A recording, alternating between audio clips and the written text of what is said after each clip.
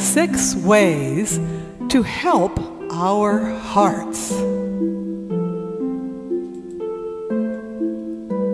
Loving opens our hearts.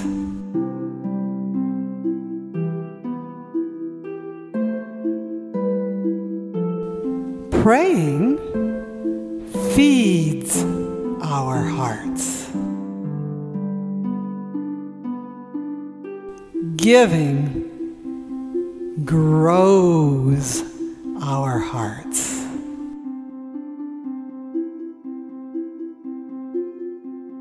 Forgiving cleans our hearts.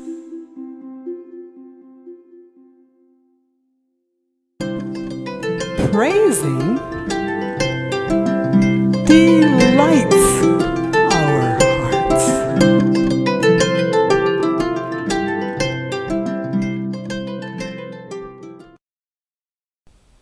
Speaking the truth in love heals our hearts.